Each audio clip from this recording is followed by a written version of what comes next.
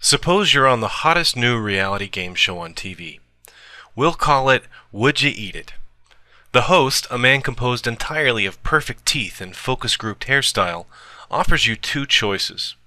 You can choose door one, behind which is a grilled swordfish steak with a butter sauce.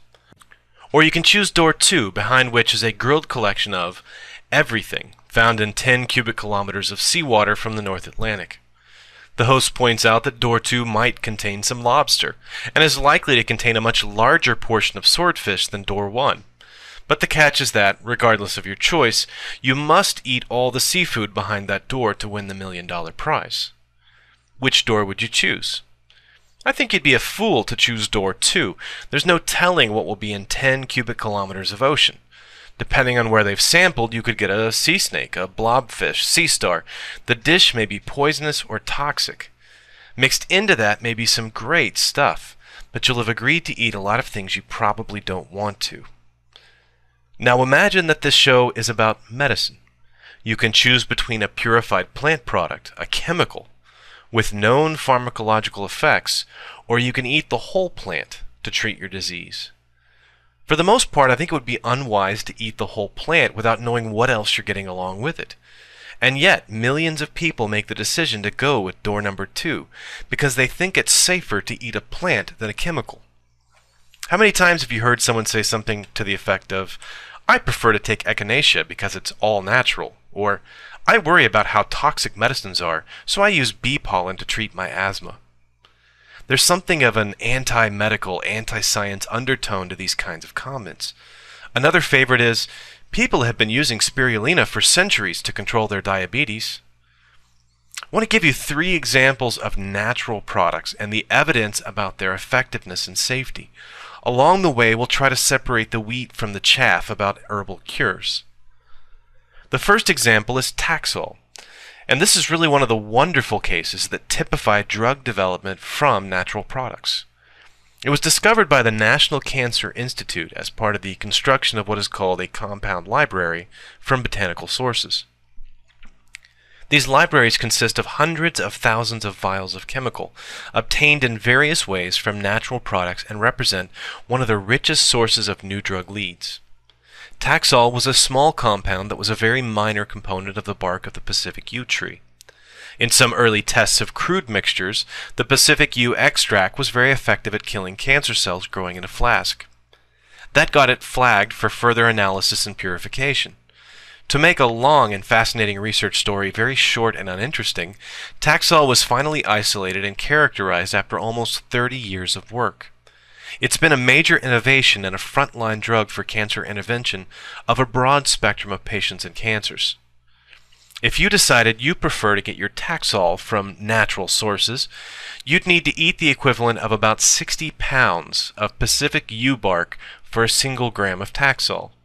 Okay, so you're not going to do that, so you decide to make a natural extract of the bark. For that, you'll need ethyl alcohol and a derivative of castor oil, another natural product, called Cremophor EL. This is a very toxic substance and represents the dose-limiting component of conventional Taxol therapy, which is just a bark extract after all. Fortunately, researchers have developed two alternatives to the very toxic natural substance.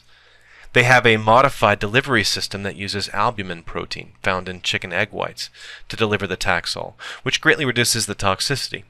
This formulation is called Abraxane. They've also developed a semi-synthetic form called Taxotere that can be synthesized from the more environmentally friendly English yew, and actually has a longer mechanism of action and slightly reduced side effects. In the case of Taxol, the natural product certainly kicked off a major discovery in cancer treatment, but the source material, Pacific yew bark, is a non-viable therapeutic. Anyone who tries to sell you natural yew tree extract isn't doing you any favors. Our next example is St. John's wort. I'm going to use this as a counterexample to Taxol. St. John's wort is that rare exception where the herb is sometimes superior to the drug. In Germany, this herbal product is very commonly used to treat major depression. In some, but not all, clinical studies, it was superior to a placebo, had fewer side effects, and performed as well as the pharmaceutical standard of care. We should take this with a grain of salt. Antidepressants are an area of medicine that may not be very evidence based. So the responses we get from either drug or natural product are going to be strongly affected by the accuracy of the underlying diagnosis. There are some studies that show St. John's wort to be no better than a placebo, including one by the major U.S. alt-med group, the National Center for Complementary and Alternative Medicine. It's also been observed that studies in Germany, where St. John's wort is part of the folk medicine tradition, are much more likely to find a positive outcome than non-German studies. This suggests a bias or experimental design issue that should be addressed. The mechanism of St. John's wort is not well known. It's been measured to reduce serotonin reuptake, but the active ingredients have never been successfully purified. It's not without its side effects, although they're usually slightly less than the SSRI-based modern antidepressants. St. John's wort is very toxic to cattle, horses, and other grazing animals. It's especially bad for the young and can cause failure to thrive, skin lesions, and even coma at higher dosages. That kind of information is important when considering whether the herbal therapy is, in fact, safer than the pharmaceutical alternative.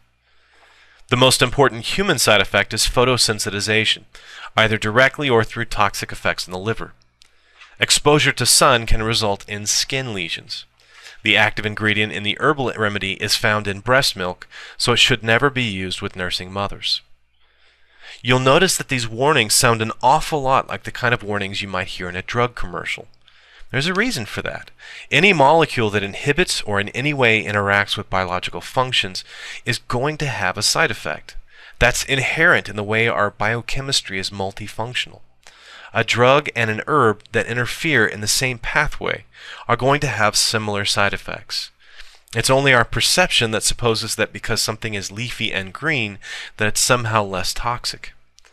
Many plants develop toxins as a defense mechanism.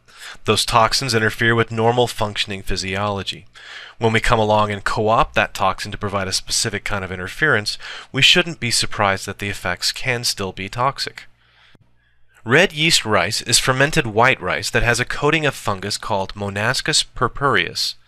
It's used in traditional Chinese cooking and medicines, and imparts a red color and slightly nutty flavor to dishes, including Peking duck and red rice wine. In the 1970s, researchers extracted an active ingredient from the Monascus fungus called monacolin K.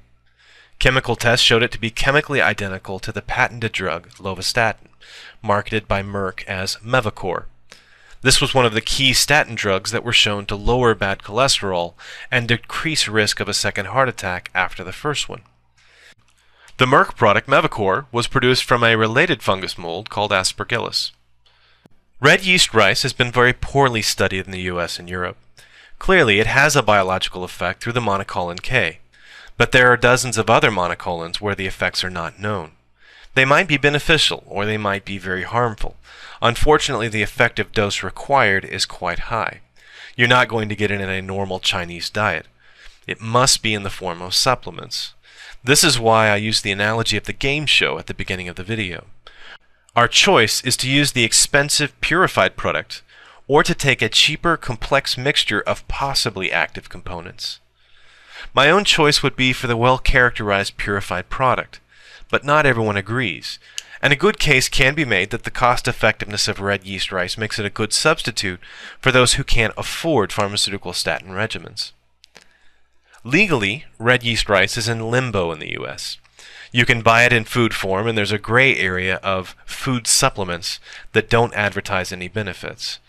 But the FDA has come down on the import of certain products with high monacolin content. There's also a second issue that has to do with adulteration. Due to the cost of fermenting the rice in batches, some manufacturers stretch the product with industrial red dye. Food product regulation in China may not be up to the task of ensuring quality of a product used as a pharmaceutical. Side effects of red yeast rice are similar to the purified statin drug and can include muscle pain, cramping, and liver damage. To conclude, while natural products are of great benefit to our ability to treat disease, they represent a mix of unknown and known compounds and are not subject to the same level of testing and regulation as pharmaceuticals.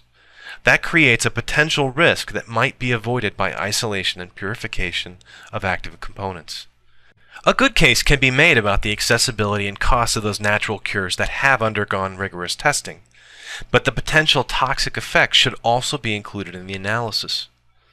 My own advice, as always, is to ask a trusted physician before you start eating any green and leafy that doesn't come in a salad. Don't be suckered into believing that just because something grew in the dirt, it's good for you. If you don't believe me, go help yourself to a big bottle of castor bean oil or syrup of ipecac and tell me how that works for you. Thanks for watching.